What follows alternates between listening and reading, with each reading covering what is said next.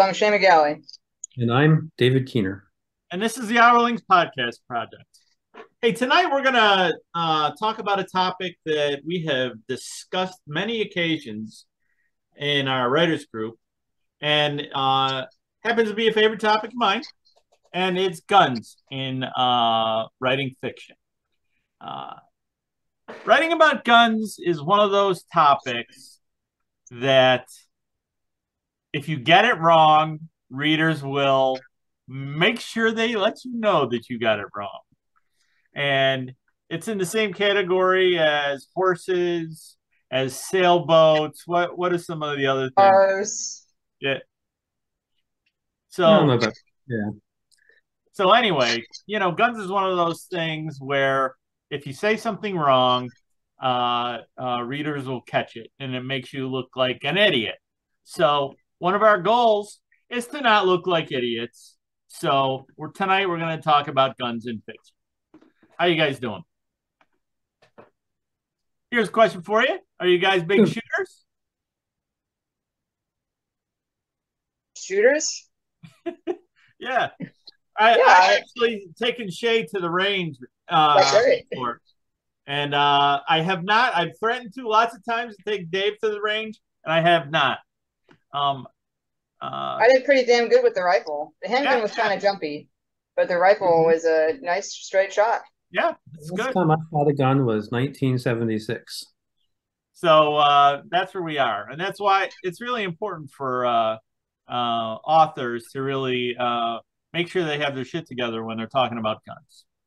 Or have a friend like Marty uh, who can uh, be their SME when it comes right, to and that's part of having your shit together about it. Um, is doing research associated with it. And another thing that you can do if you're going to have um, uh, a novel or something that you're writing that's got a lot of guns in it, get a beta reader that actually is a shooting enthusiast that knows uh, how guns work and to see if you're uh, being silly. Um, uh, and and that you know it it helps to have diversity in your uh, uh, uh, beta reader population, anyways. So, well, tonight what we're gonna do is I I guess I'm just gonna uh, do a quick synopsis about the different kinds of guns that you'll encounter, and uh, then we'll talk about uh, guns that don't exist yet because we write science fiction. Um, so first of all, there's like three main categories when it comes to um, handheld guns. Uh, I'm not talking about you know tanks or howitzers or you know the big guns or even you know shoulder mounted rocket launchers or anything like that. That's uh, not what we're going to be covering tonight. Tonight we're going to talk about uh, the three main categories. That's handguns, shotguns, and rifles. That's the three different categories. Um, each of those has subcategories in it. We're going to touch on those just a little bit, but I think in each of those categories you get a lot of uh, mistakes that can happen uh, in writing.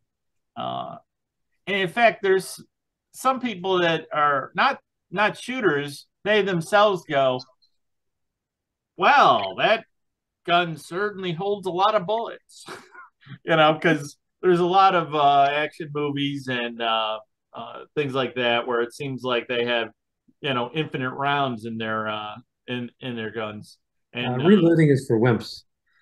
yeah, so uh, uh, that that's you know that's a thing.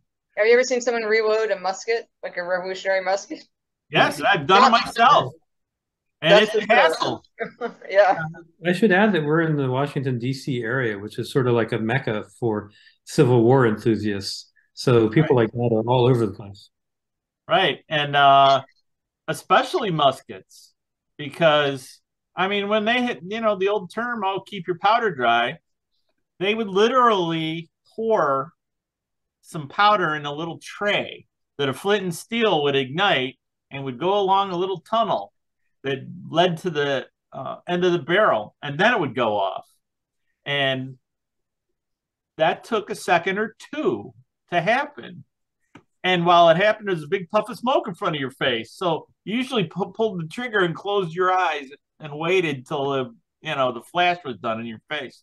It's really it's really fun shooting those. I have a friend who has a half a dozen um, flintlock muskets, and it's it's really uh, fun. I think Shay actually has a blunderbuss in her house. I sure do. It's hanging on my wall. Yeah. It's, uh, go, go ahead. So It's a- I'll tell you a story. Uh, one of my friends. Oh, sorry. We, I'm sorry, we're lagging, and so I don't know when people are talking.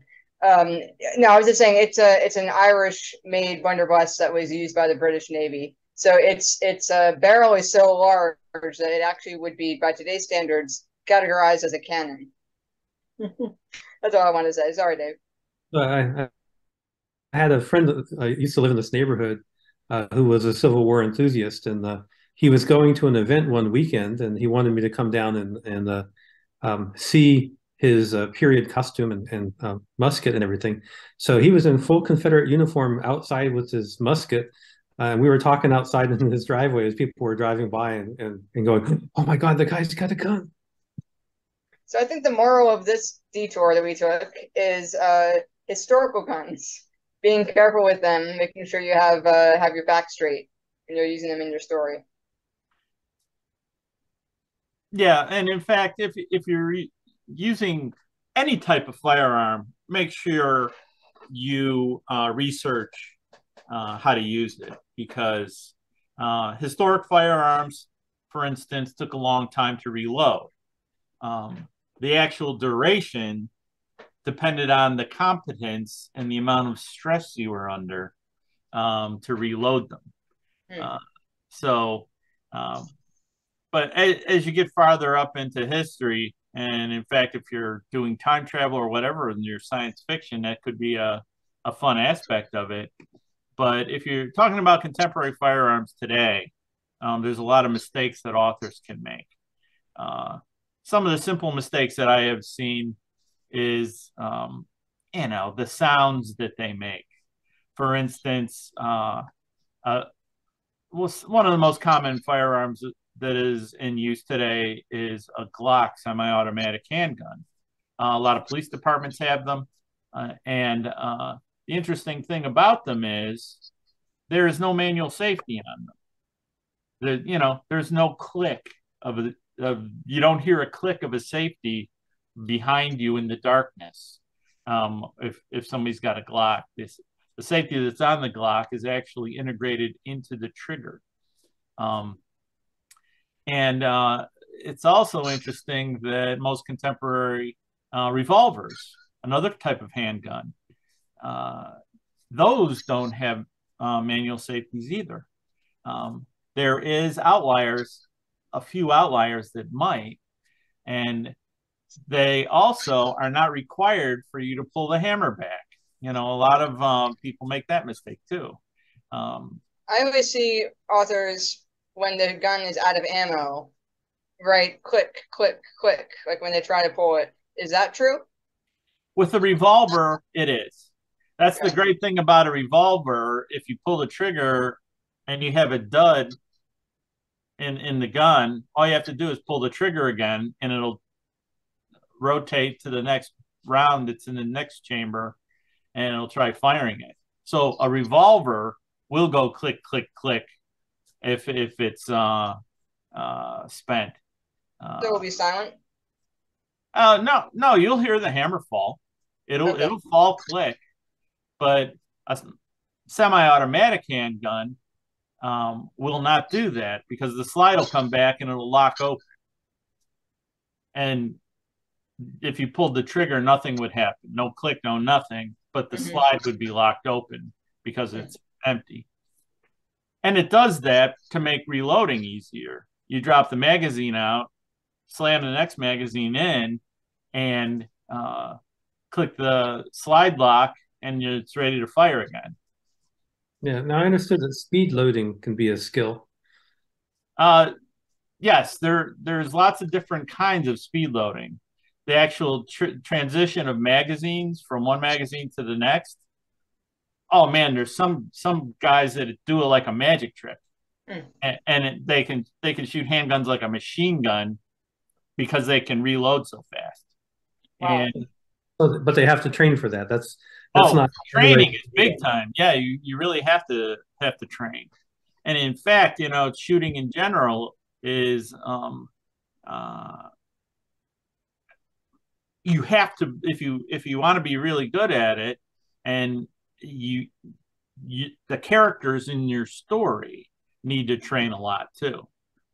Um, another thing that really bugs readers sometimes is nomenclature. I mean, I just use the term magazine while uh, in regards to re- reloading a Glock. Um, very common mistake that some authors make is they call them clips. They are not clips. Uh, a clip is a very specific kind of device that goes in a specific kind of rifle. And it is not a box magazine. A box magazine is what you see in a contemporary uh, semi automatic handgun. So those are called magazines, or they call them mags. Uh, but don't call those clips, or you'll, you know, reveal that you're uh, a rookie, a, a, little bit ignorant about the uh, about your sailboat. Mm-hmm. So, uh, yeah. So in handguns, another another thing that sometimes authors make mistakes about is calibers because it's such a wide variety from very very lightweight calibers like a 22 caliber handgun as opposed to a very he- heavy caliber like a 44 magnum or a 50 cal handgun uh, the sh- shooting of those is dramatically different um, and especially if you're writing fiction where you're talking about shooting people with those things because like shooting somebody with a 22 is like stabbing them with an ice pick. Now, depending on exactly where you stab them with an ice pick, you can kill them.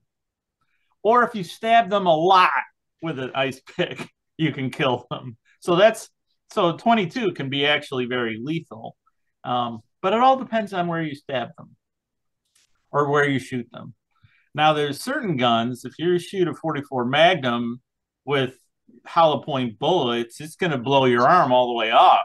Even if you're not hidden in your in the uh, uh, center of your body mass, it's you know it will kill you. It'll knock you unconscious uh, immediately with a, a, round like that. Um, and, and, of course, as as the shooter, um, I would naturally hold that one handed and fire seven shots in quick succession. That has to work well, right? Yeah, well, staying on target, that's another skill. You know, with a with a heavy recoil firearm, uh, retarget acquisition is uh, possible for doing it speedy. Um, but boy, that is a practice skill. I think Dave was being sarcastic. I was being very sarcastic. I know, being very sarcastic, but it's a thing. It is a it is a mistake that authors make, and it's a mistake that people make when they you know, uh, are in an emergency situation. So if you're a guy that's not experienced with shooting a firearm, write that into your book. He picks up a 44 Magnum and he doesn't realize there's going to be so much recoil the thing could smack him in the face um, from from recoil. Um, Here's another question for that I see a lot with writers: um, closing one eye while aiming. Some people do it. Um, I I tend to leave both my eyes open. I don't, I don't even flinch anymore when I shoot. Um, it doesn't make a big difference either way. Well, you know, some people close the wrong eye. Yeah. You know, most people that are not shooters don't know if they're left or right eye dominant. Yeah. So they don't know which eye to sight over the firearm. Once again, practice makes perfect, especially when it comes to being a shooter. So if you have an experienced shooter in your book, you need to um, make sure that you know uh, what they do. But most really experienced shooters leave both their eyes open all the time. But I, I also think it would be fun to uh, have somebody who has no familiarity with guns and has to use them for their first time. And, uh, you know, maybe the first shot hits and the second shot hits the roof of the barn and the third shot goes off into the sky somewhere, right? Which right. would be. And, and in fact, just the act of pulling the trigger you know, for a new shooter, pulls the pulls the gun off uh, target. So uh, you could write that into your stories. You know how uh, how they miss. you know, that somebody's 10 feet away from them and they miss. It's like, uh, and, that, and that's not uncommon from what I understand. That uh... yeah, that is absolutely uncommon. One, because people are freaked out. You know, don't underrate in your stories how panic can uh, affect somebody's aim, and even even trained police officers, you know, can shoot a massive ton of bullets and miss lots of times. It it happens all the time, and um, uh, and a seriously trained uh, uh, shooter can, you know, really really uh, stay cool and make a difference. So that's that's with handguns. Um, you know, that's that's basically just a quick overview of uh, shooting handguns. Um, be really careful with the really large caliber handguns because they have a lot of kick and uh, the amount of wrist strength that you have will be tested um, with them. Uh, I have another question for you. Okay. All right. True or false? Silencers really make shooting totally silent. Uh, uh typically, no. They they um, uh, re- reduce the sound um, and can reduce it a lot. And uh, it's not completely quiet. Uh, it depends on how far away from the firearm you are. It makes a big difference because, uh, for instance, if I were to um, fire a, um, a 45 caliber handgun in my house, you could hear it from my neighbor's house. But if it was suppressed, it wouldn't be perfectly silent, but it would be as loud as clapping my hands together.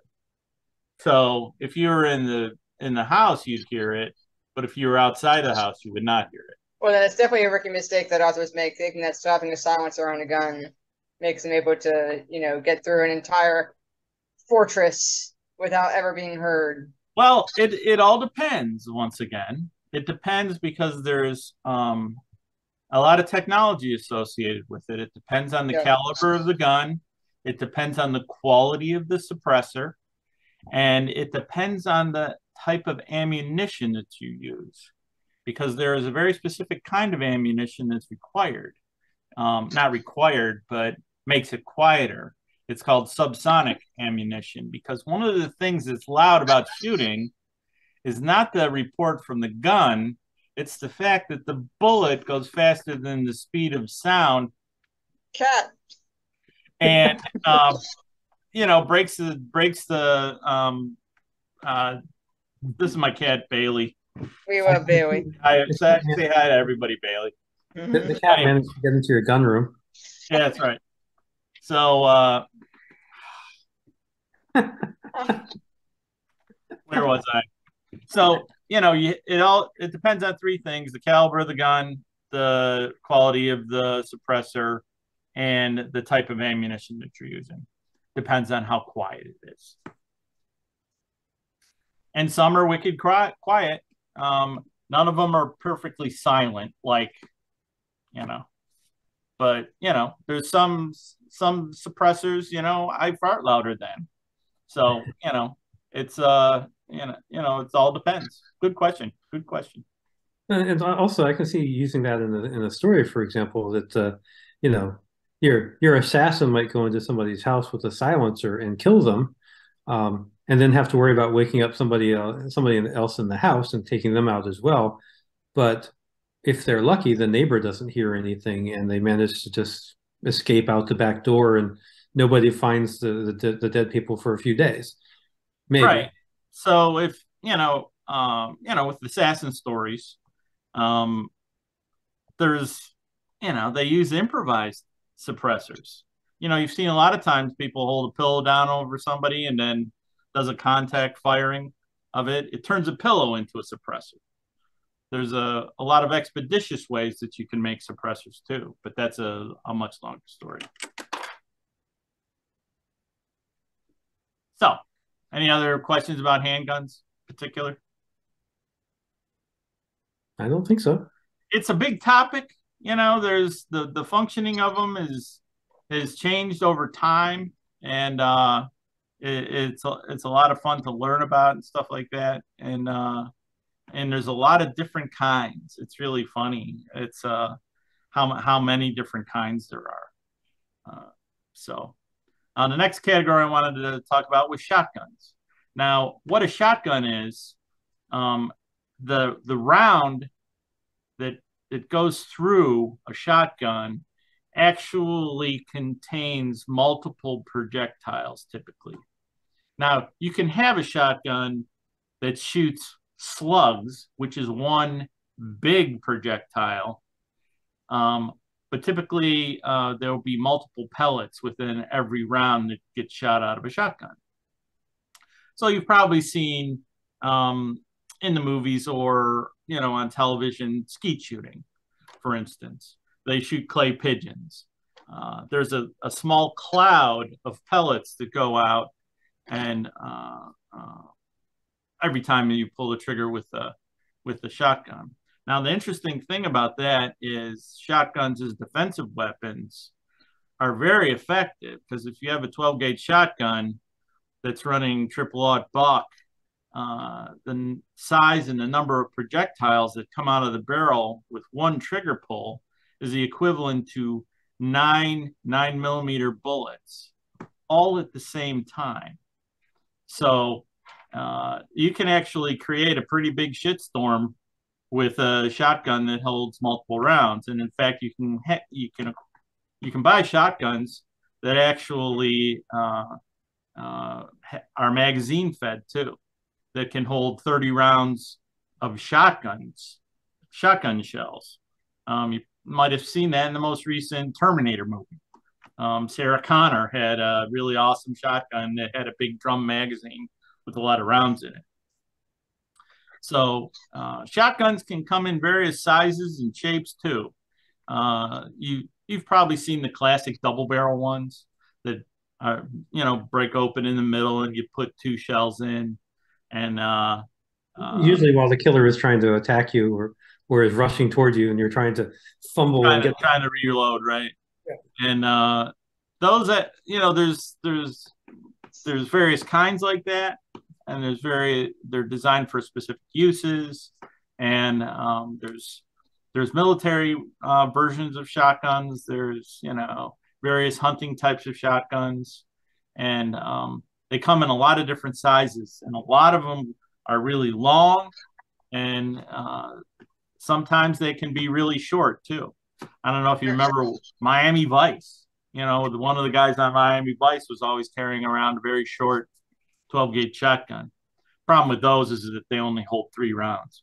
And, uh, but, you know, they're three rounds of, uh, you know, shitstorm. All right. I have questions for Arthur Cliches to shotguns. Okay. All right.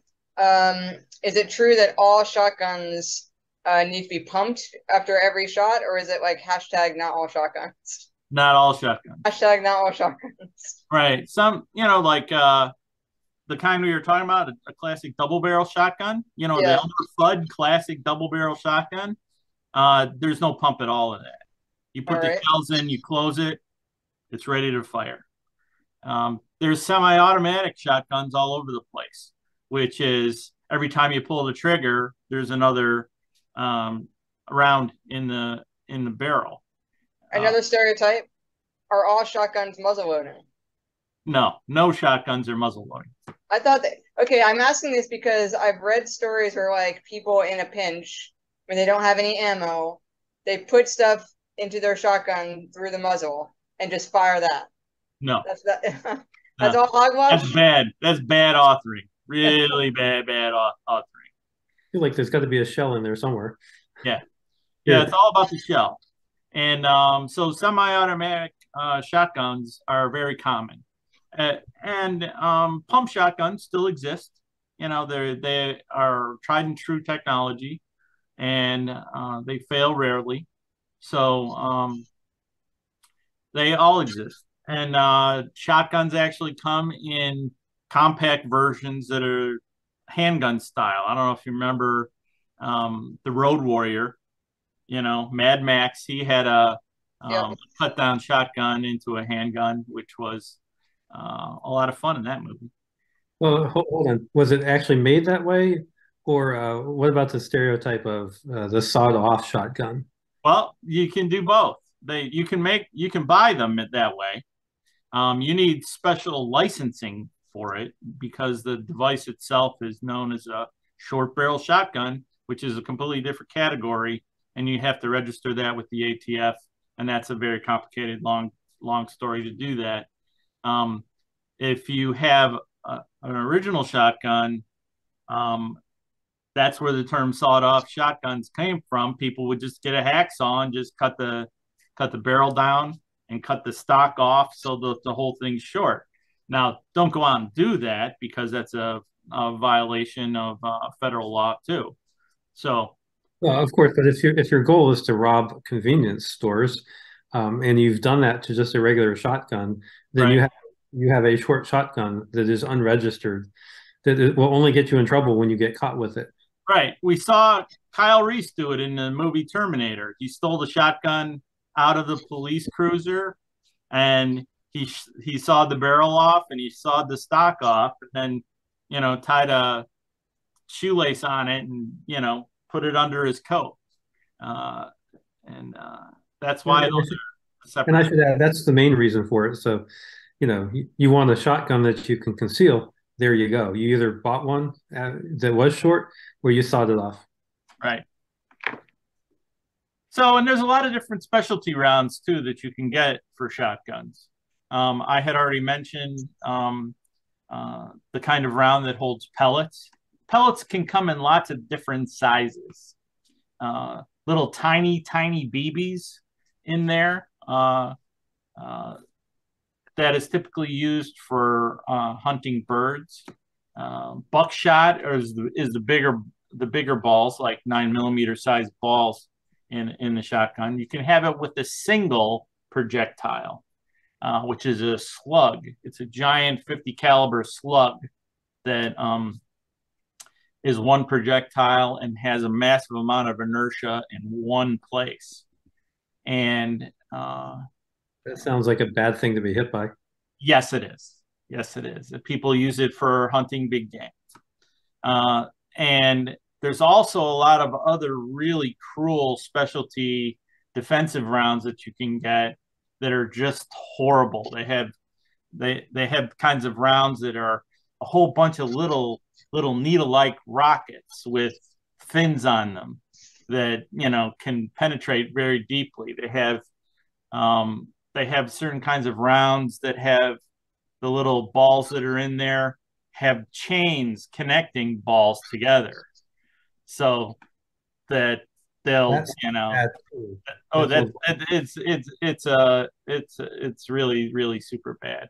And they yeah, also have projectiles that are inflammatory you know that shoot fire they have you know lots of different things they have you know uh, rounds in fact that are explosive on impact it's crazy the amount of uh, different crazy deer hunting of course what's that explosive rounds for deer hunting? You'd want you, you wouldn't want to use them for deer hunting. um, they have rounds that are specifically designed for breaching doors, um, and and other things. You know, they have you know special you know kinds of uh, rounds that are made out of materials that are armor piercing, for instance. That there's a. Marty, you um, you seem like the type that would, you know, get annoyed if an author doesn't do his homework about guns. I'm wondering, um, do you feel the same way about sci-fi guns, or do you give that a little more of a, you know, leeway as far as believability? It depends on what they talk about with sci-fi guns. We'll get to those last. All right, all right, sorry. Because after you know, at the shotguns, and also there's different caliber shotguns. Is the last thing I wanted to mention. Uh, different caliber meaning, you know, the rounds that go inside it, the hole in the end of the barrel can be big or small. And, uh, you know, how uh, the shotgun that uh, Arnold Schwarzenegger was carrying around in Terminator 2, that was a 10 gauge shotgun, which is a really huge barreled shotgun. uh, and it can go down to little tiny uh, shotgun uh, rounds that are like the size of a handgun bullet. So uh, that's that's another variation in in shotgun technology that that exists. And the last thing I was going to talk about, go ahead, Dave. Yeah, I was I was going to say I always had this perception that shotguns were sort of like short range weapons, but as you describe all these different types of ammo and, and different types of guns, it starts to sound to me like the, they have a range of functions and probably a range, uh, probably a wide range of distances that they are effective at. And I'm just curious what some of those would be. Right. Um, typical, you know, a, a typical shotgun. Um, I will like if I was out deer hunting, I and I had double aught buck in my uh, shotgun, I wouldn't shoot at a deer that would be more than 50 or 60 yards away. Um, the reason for that is the projectiles will go, will continue to go out to 100 yards, 200 yards. But the thing is, is the pattern of the pellets grows with distance. So uh, when you're hunting, you want your target to be hit by multiple pellets when uh, when you when you shoot. The farther away they are from from the firearm, the bigger the pattern is, and the farther apart the pellets are that uh, have been shot from the shotgun. Now, some shotguns actually have rifled barrels. It, I don't know if you want me to explain what that is. And if you use a specific kind of round in those, you can have accuracy out to you know 150 or 200 yards with the with the shotgun. They actually make scopes for shotguns for that very reason. I think that's the first time I've heard of that. yeah, they're they're uh, it's it's uh um, I I don't think it's all that versatile. If you're gonna if you're gonna be hunting like that, you might as well hunt with a rifle. Right. So, yeah. Um. And the thing is, is you can't if you ha- if you have a rifled barrel like that, you can't use other specific kinds of ammo. Otherwise, it'll ruin that barrel. So, uh, a smooth bore, you know, 12 gauge shotgun, you can shoot anything out of. Uh, but if you have a rifle barrel, you can't shoot all, any, you know, er- every kind of ammunition from that. But that's that's um, getting in the weeds a little bit farther. But uh, yeah, the range is pretty good. And the thing is, is with shotguns, you can put a lot of ammo downrange and get lucky a lot easier. So if I was in the Civil War, I would just dearly have loved to have, you know, a magazine fed 12 gauge shotgun because, you know, the pellets spreading out would have been a good thing at that point because then you, you know, take a bigger swath of the line out with every time you pull the trigger. But um, so that brings us up to rifles. Um, uh, rifles is a big category. It's got a lot of different subcategories. There is um, lots of different kinds of rifles. Um, uh, everybody's talking about AR-15s. AR-15 is a very uh, common uh, sport utility rifle that um, is semi-automatic, and that means um, every time you pull the trigger, one round is fired. Uh, machine guns are completely different. Um, fully automatic ones are, um, as long as you hold the trigger down, the bullets will keep firing. Uh, that's a completely different kind of firearm. And they also have firearms that are, they call them select fire, that you can have it, the switch on it goes from safe to single shot to three round burst or full auto, which will empty a complete magazine in uh, like 1.5 seconds, which is not good for a soldier that's in panic. Suddenly he's out of ammo. so, um, so there's lots of different kinds of rifles. There's semi-automatic rifles like the AR-15. There is bolt action rifles, um, like uh, you see in the movies that are sniper rifles. You know, they have the lever that they crank and pull back. The casing will fly out and they push in the next round, or it could be a single round at a time that they have to manually load the next bullet. Um, uh, so, and there's also pump action uh, rifles. There's there's a, a, quite a wide variety of different kinds. You've seen the cowboy lever action rifles, um, like the old West had with the Winchesters. That's a different kind of rifle. So each of those, the thing is, is that the projectile, it's a single projectile that goes down a barrel that's uh, uh, got rifling in the end. And uh, we seem to have lost Shay. I noticed that. I think, uh, yeah, we definitely lost her. Okay. Um, will we want to edit her back in and uh, restart, or should should we finish? Um, let's finish, I guess. All right. So, uh, you got any questions about rifles in general? Um, rifles in general have a greater range than shotguns and or handguns. Um, so uh, that's Shay texting us saying her uh, computer died, and uh, figured that one out. Yeah, we we figured that would happen. Uh, she made it most of the way through, and uh, so uh, uh, so anyway, uh, rifles in general have a, a much longer range. Once again, there's lots of different caliber rifles, all the way from small caliber ones like 22 caliber rifles to um, very large caliber rifles like the 50 BMG, which are um, typically used as you know anti-equipment rifles for uh, uh, you know stopping you know transportation or shooting at things two miles away from you. Uh, so there's a big variety of uh, rifles that are also available. Questions? So um, it seems like handguns are pretty much the short range weapons.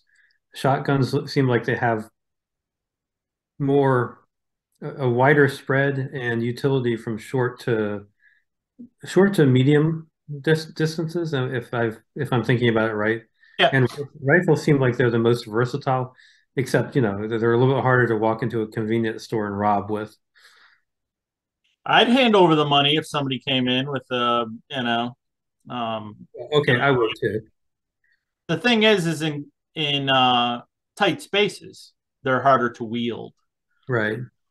Like if you're driving a car, you know, it's uh, uh, they, you know, rifles are long. It's uh, you got to keep that in mind. Uh, bringing them to bear can often be more complicated, especially with the rifle. You might have glass optics on it, so that you have to do target acquisition through crosshairs, for instance, and right. uh, that can be problematic depending on the distance. And because you can shoot it's much, much farther distance, suddenly physics matter and windage and things like that. And the most minute motion in the targeting with the rifle is exponentially uh, uh, conveyed at distance. So, uh, once again, we were talking about training before. Training is important, and training with uh, rifles is, um, a, I would say, a tad even more complicated.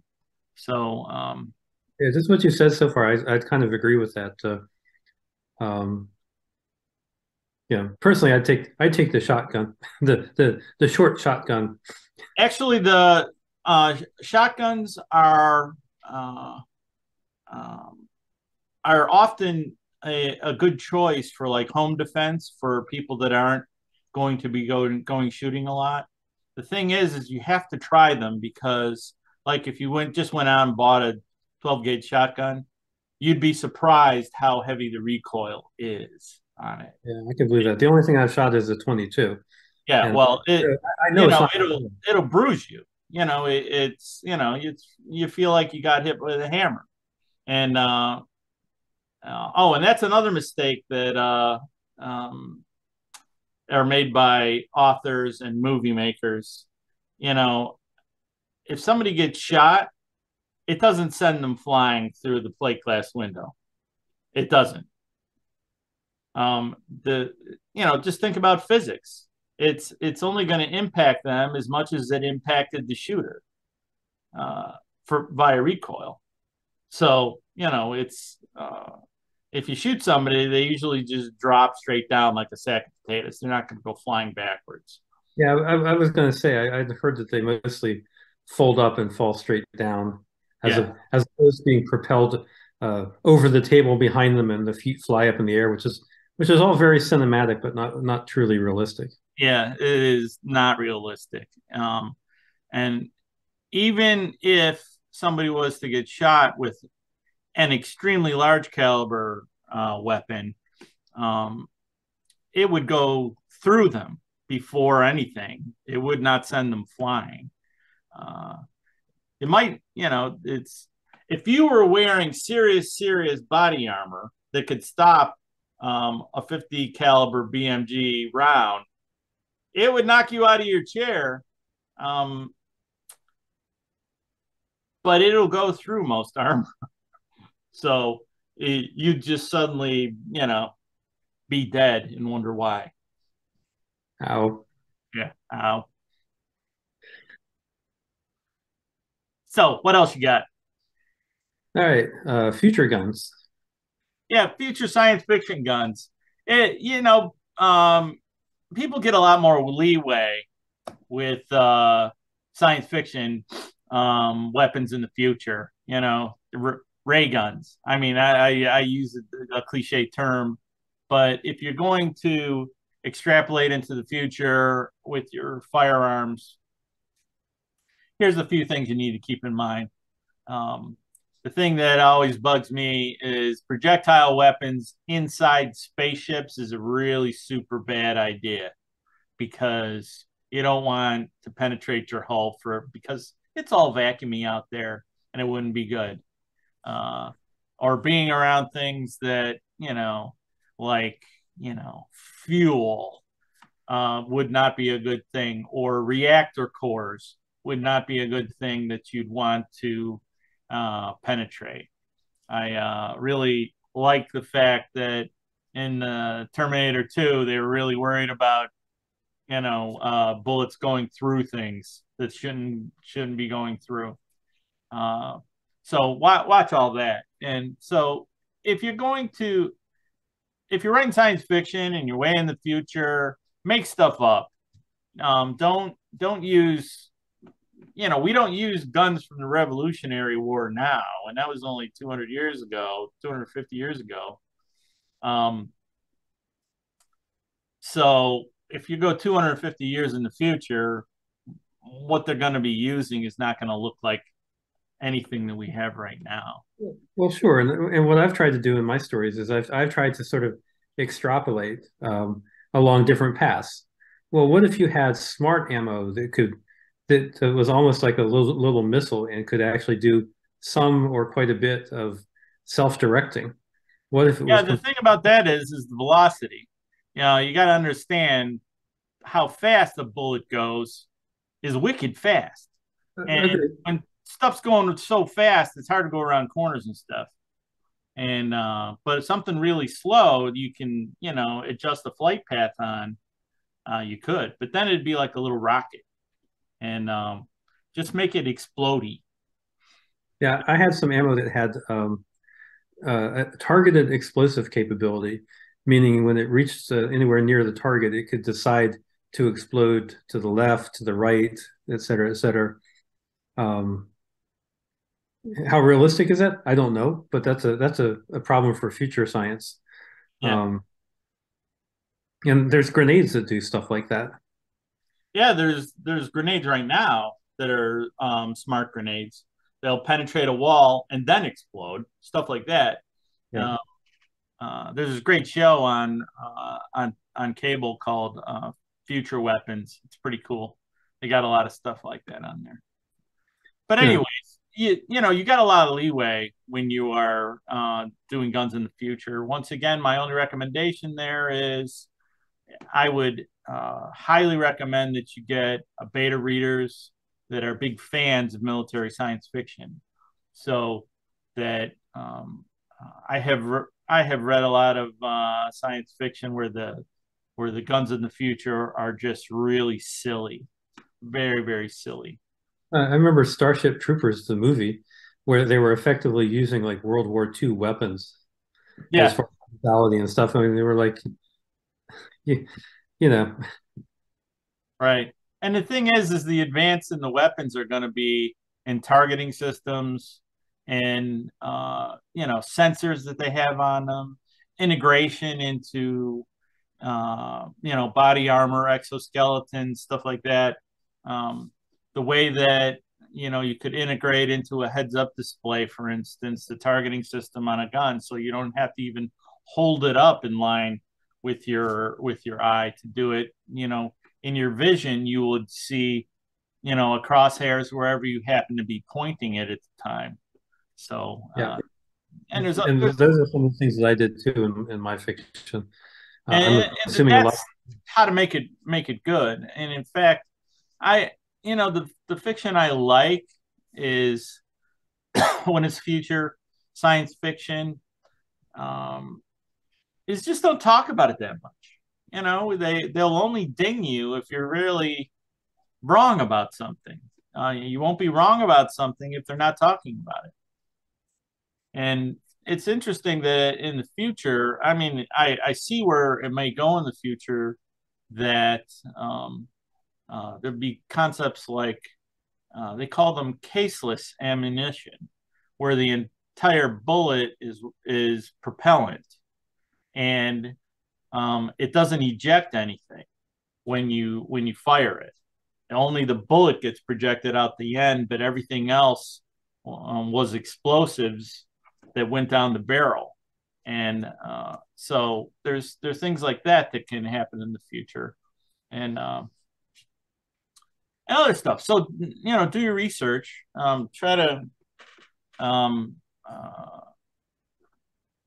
see how far far it's going to go, and it, you know the materials that they actually may use for the projectiles. You know, they there's a kind of ammunition already called frangible ammunition that's specifically designed to um, not penetrate through hulls and things like that. And there's Bailey again. And uh, it's it's basically bullets that are like made out of glass or made out of clay. I can see if you had to chase a perpetrator on a space station, you might want that kind of ammo to take out the guy, but not the wall. Right. I could see a security detail on a space station having frangible ammunition. But if they did, body armor would be very effective against it, you know, as a as a uh, plot point. Right. Uh, so you know, it's a it's a it's a thing. So with space station makes body armor illegal except for you know law enforcement professionals, which means if you're wearing body armor, you're already in trouble. All right. So don't do that. Or write that. That'd be a, a, a good uh, plot tension point. So I, I, think what we're saying is for future weapons, you can try to extrapolate some of the trends now into weapons in the future. You can't really be held wrong, but you, you do have to search for that plausibility factor. Right. There's there's a couple directions that you need to remember too. That when it comes to firearms, it's not just the t- technology that advances; it's the politics that surround them that would advance. Uh, for instance, you know, it's it's becoming easier and easier to 3D print a firearm now. Now, granted, the firearms that you can 3D print are pretty primitive, but you can do it. And I am sure that in the future, um, there will be 3D printing technology that would be able to uh, 3D print a very competent uh, firearm and uh, so that you know that's you have, a, you have a licensed 3D printer. What have you been printing lately? Oh, our records yeah, well, you have. The thing is, is the politics associated with that would be, oh, don't be caught with uh, a CAD drawing of a you know 3D printable firearm or something. I don't know. So be yeah. creative with it in your uh, stories you're writing. Uh, but once again, you could be dinged if you're if you're wrong about stuff. So uh, Interesting. You know, the sky's the limit. You know, especially if you extrapolate into ray guns and uh, uh, and other things. I uh, um, so I also had in one of my stories, which which is an extrapolation of technology that exists now, of a um, a non-lethal um, microwave um, burst gun uh, that could basically inca incapacitate a person without killing them right? And that's an extrapolation of technologies that already exist. Yeah, they actually have uh, microwave transmission systems for crowd control. It just makes it impossible for them to stay in the area. Um, it, it's really interesting technology.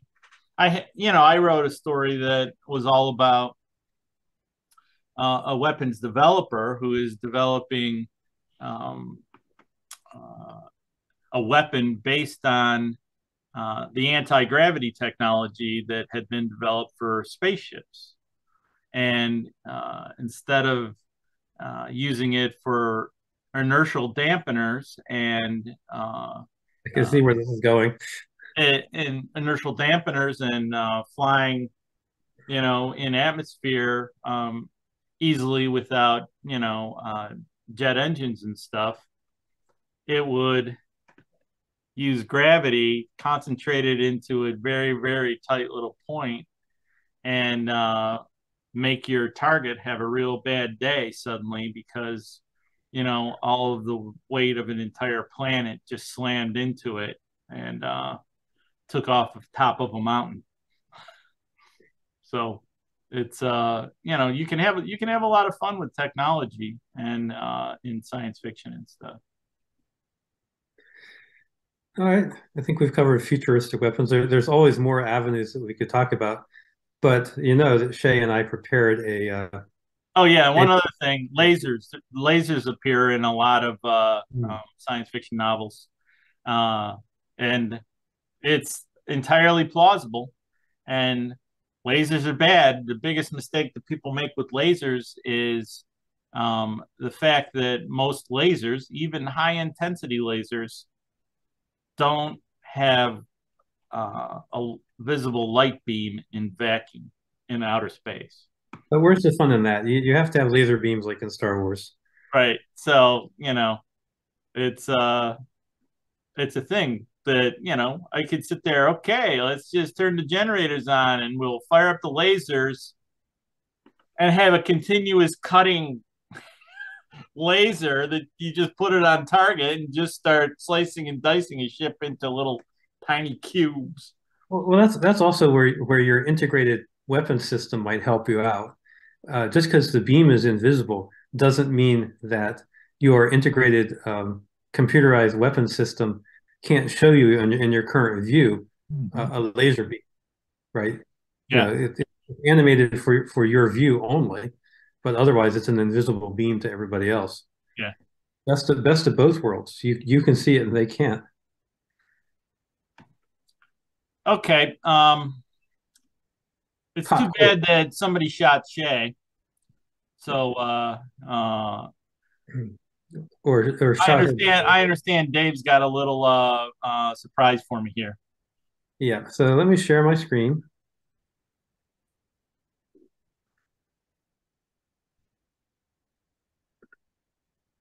And we'll play from start. So here's how this game is going to work. Our plan is we're going to show you various threats, and you have to tell you uh, you have to tell us your gun of choice and why, of course, you would choose this type of gun, this type of ammo, et cetera, et cetera, uh, for dealing with the threat that we're going to show you. Well, my first point is the yes. best gun is always the one you have with you. Just remember that. There is that. But then you, it could be Tremors, and you could be in uh, you know Gummer's basement, and have have a whole selection like like this image behind me to pick from. So go. Oh, man. I thought this was your real gun room. no. I wish. I wish. Okay, your first threat is Inspector Harry Callahan, nicknamed Dirty Harry. His gun of choice is the Smith & Wesson 29 44 caliber Magnum revolver. Do you feel lucky? Punk. And he tends to hit his targets. Yes, he does. But a handgun like that is uh, only got a limited range. So um, if if he was my adversary, I would use a uh, bolt action sniper rifle like a Remington 700 and um, be a couple hundred yards away from him, um, far enough that he couldn't see me really with his naked eye, and uh, uh, that can be very very effective.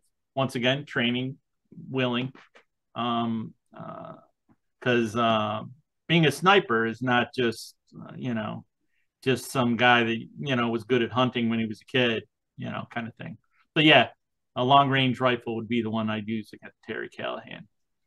Probably a good choice. Although I will point out he's not wearing armor, so yeah, I know. And well, the thing is, his body armor for um, you know a sniper rifle wouldn't matter because the armor wouldn't stop a uh, a bullet that you know would be appropriate for a sniper rifle.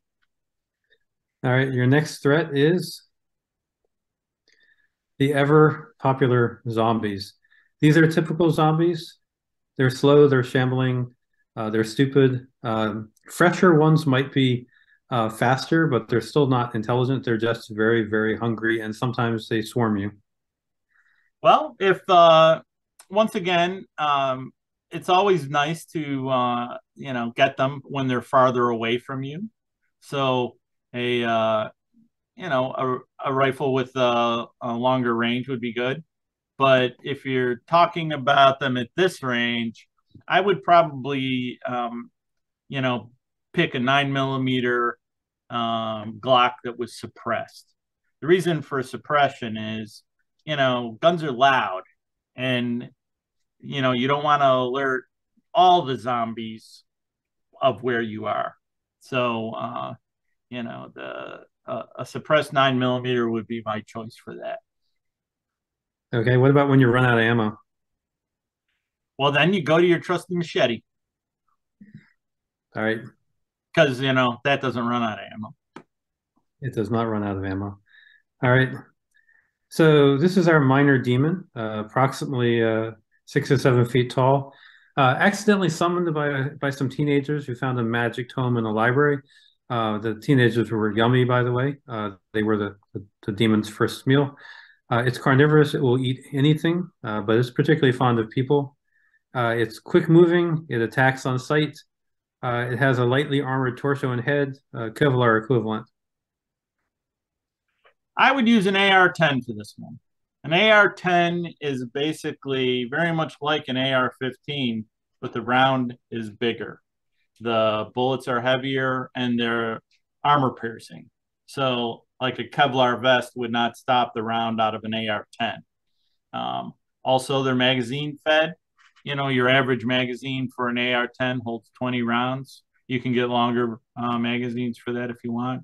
And it's very, very fast to reload and very easy to shoot and um, armor piercing. And you could drop an elephant with one. All right. I'll tell you what, we're, we have an apocalypse, man. I'm coming to your house. now you'll just get shot with a suppressed nine millimeter. I didn't say I was going to take your stuff, man. All right, your your next threat is a xenomorph. Uh, ever the the alien from the movie uh, Alien and Aliens, and we won't. Yeah, from the movie, you could tell that um, uh, they were very susceptible to projectile weapons. Do you remember when uh, um, uh, the one was killed with a shotgun at close range, and it um, uh, burned Hicks. And uh, uh, so those you don't want them to be close to you either. So I would prefer a long range rifle for those. Uh, you know, AR-10 would also be good. Hey, Shay's back. Yes, I have ten more percent. okay. Uh, yeah, so uh, I wouldn't want those to be close to me, but the thing is, is they do get close to you, And uh, so when they do, I would still want a uh, uh, a heavy, very damaging round. AR-10 would be a good pick for them too. Okay, I will say it didn't seem like they were very armored uh, in the films. Yeah, they were fast and they were they were they were strong and they were smart, but they were not. Um, they, they definitely weren't armored or super durable. Uh, yeah, the and they're fast. Yeah, and, and that's a problem because they could they could run faster than you, and they climb yeah. really good. I, I should also point out that they're very photogenic, apparently. and they have acid for blood. Yes. Which is very inconvenient. Yes, being too close to them and having the blood splatter over you is not a good thing. Right. Or having them on your spaceship. Yeah. You know, makes them harder to kill. Uh, indeed. Okay, our next threat the carnivorous beetle. Deadly flesh eating beetles, they live in large nests they react uh, en masse to a prey. Uh, they will often a nest will often surround uh, an identified prey uh, critter, including a human, with hundreds or sometimes thousands of warrior beetles. If it, if you've made the mistake of encountering a large nest, um, you're seeing the real size of, of a beetle on somebody's hand right there. Uh, they're very aggressive. Uh, if you encounter a scout, they will always call for reinforcements. They can be outrun if you're lucky. Um, you don't want to get surrounded. Uh, they're a little bit tough to kill. Uh, it's not that you can't kill them with a round, but they uh, they do have curved surfaces, so they ricochets uh, can happen. Um, and since my wife was uh, uh, looking at me when I was doing this slide, they're also partial to young Scottish lasses. Are you sure this is a fictional creature? I uh I for me, if I if I was aware that these existed, it would definitely be a flamethrower. Uh, we didn't talk about flamethrowers, but most insects, most species in general, flee from fire, and uh, because you know you you would never be able to carry enough ammunition to shoot them one at a time. So you know, fire is your friend. You know, burn but them with fire. If you didn't have a flamethrower, though, uh, what about a, a, more area effect weapon like a, a, shotgun with the right ammo type? Yeah, if you had a shotgun in a narrow hallway, you know, it, you know, for something like that, geez, a fire hose might even be better. Uh, it's uh, it's scary stuff, man. Scary stuff. Hey, man. I, I would pretty much just like you know run. uh, you know, shooting them is uh, not gonna like get you a whole lot of traction. All right, our next threat, the Velociraptor. These are approximately man-sized, and you've you've seen them in the the Jurassic uh, Park and Jurassic World movies. Yeah, that would definitely be the AR-10 again. I love the AR-10. It's uh, you know, more than enough to uh, kill one of those with one bullet. And if you uh, piled 10 bullets into them, it would uh, work. It's uh, the brains on those things would be are really small though. So, you know, you could they could probably take a lot of uh, hit points without going down and it would just piss them off. But uh, I'd, movies, I'd still do an AR-10 with those. In the movies, especially the last trilogy, they were portrayed as fairly intelligent. Yep. Well, you know, That that's my story. AR-10. Well, we'll see if the AR-10 is suitable for the next threat. no, an AR-10 would probably just piss that guy off. I'd, I'd go. I'd go straight with a 50 BMG for that. Is that an, is that an elephant rifle? Uh, it's not an elephant rifle. Here, I can show you a spent casing. This is a spent casing from an AR of 50 BMG. The bullet comes usually comes out about this far. It's a huge 50 caliber bullet. Mm. It's uh, you know, it's got a giant diameter. Um, uh, it has a has an actual effective range out to about two miles. Wow. Uh, It's uh super heavy, armor piercing, a massive inertia bullet. The recoil on those rifles is ridiculous, and um, and they're wicked fun to shoot. How much is like one bullet? Oh, it's about about ten bucks per bullet. Wow. Yeah, with inflation, you know. Yeah. Wow. And, and you got to practice a good bit, good bit to be good with it. So there's some there's some money right there just to get. Yeah, good. I know. Just getting it sighted in at a thousand yards is pretty pretty crazy expensive. How many bullets to take down a T Rex? You think? Oh, I would probably you know shoot it five or ten times. hmm Be you know and keep shooting it probably. I would go for I would go for center mass in the body instead of the head because the head's all bone and very little brain. I think at that point you're not really counting how much money the bullets are. I think that there's no price that you would not be willing to pay. Well, another thing you could do uh, with this guy is if you had a shotgun, you could take its eyes out pretty easy and then run your ass off. Uh, you know, the eyes are are big enough to be an easy target on a T Rex, and they would be super easy to take out with the 12 gauge shotgun. And uh, they'd really be upset, you know, by that. It would hurt a lot, even for a T Rex. Right. I I could see that. And and from our discussion earlier of shotguns, uh, it doesn't seem like you you necessarily have to be within striking range of its jaws in order to uh, uh, shoot the shotgun at its eyes. Yeah, well, uh, I wouldn't want to be very close to them because I understand they can run pretty fast too. Well, It's- at, it's- least, at least in the movies, I'm not kind of I'm not really convinced that they can run 35 miles per hour. But then um, I wouldn't want to test that myself. Yeah, I know. I, uh, uh, you know, when I go 35 miles per hour on my bicycle, it's scary fast. I, uh, I just would not want a T Rex behind me, you know. But, Yeah. uh, yeah, it's doable. I, and I am not a threat. You don't have to shoot me. Good deal. Good deal. Uh, Yeah, so that was fun. That was fun. That was a fun episode. Sorry you missed the, you know, middle, Shay. Somebody shot your computer, huh? let's just recap real fast. Our threats in reverse were the T Rex, Yeah, that's a 50 BMG. I'd use an AR-10 for the Velociraptors. Flamethrowers. AR-10 for that guy too. AR-10 for that guy too. I'd use a suppressed nine millimeter for zombies. Not shotguns? No, That's what they always use in, in pictures, though. Yeah, it's a bad idea, and I'll tell you why. One, um, sure it would it would kill them, but the thing is, is shotgun bullets, the actual rounds themselves are big, so you can't carry that many with you. In the same amount of space that you could carry, you know, hundred rounds of uh, twelve gauge shotguns, you can carry a thousand rounds of nine millimeter.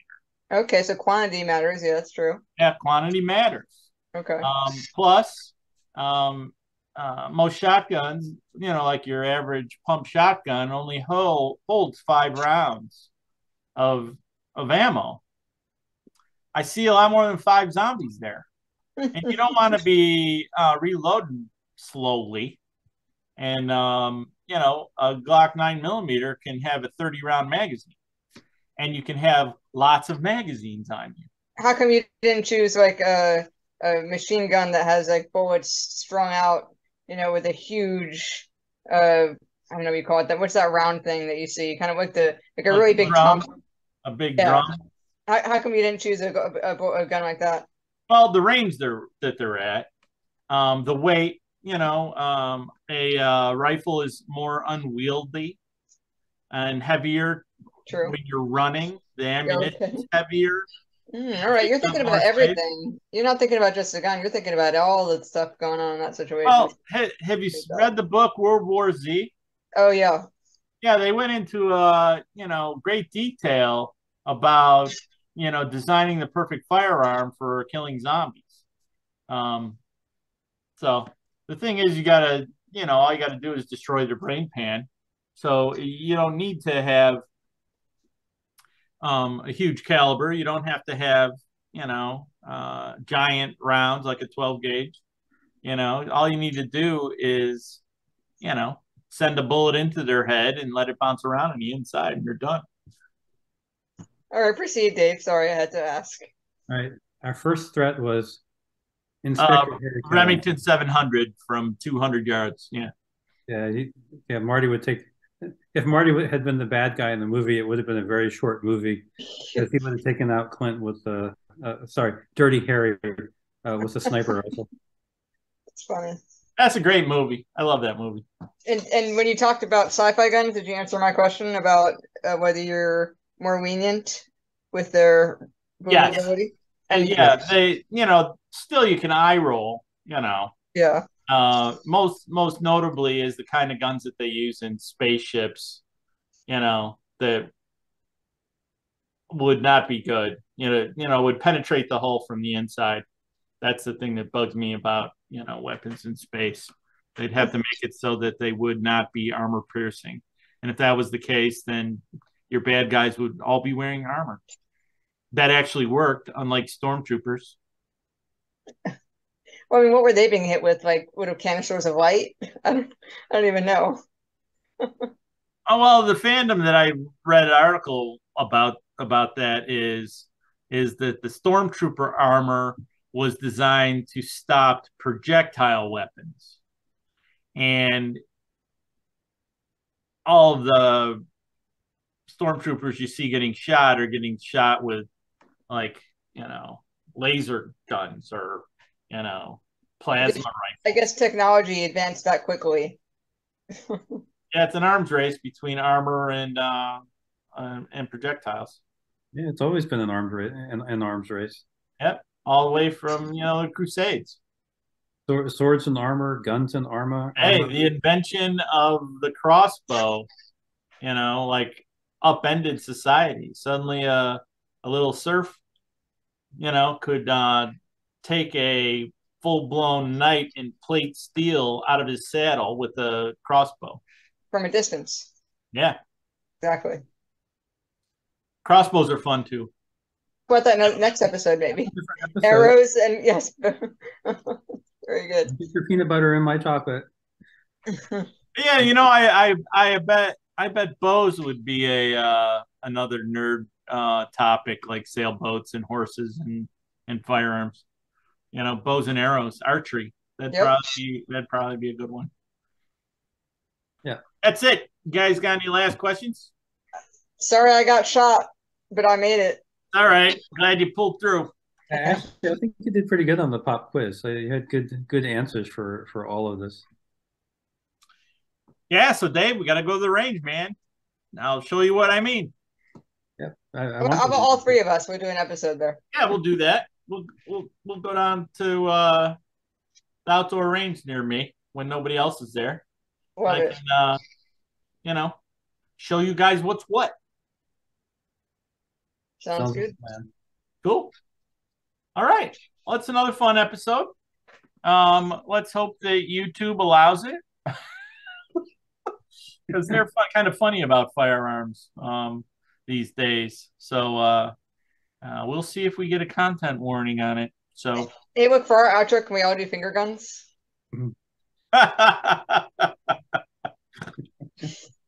Hey, I'm too proud to get my first content warning. No, I, I, you know, I, I'd hate to see us, you know, waste the effort on the episode because it's all fiction. We're talking about fiction. Just keep that in mind. That's right. All right, guys. Hey, we'll see you. Uh, see you again next week.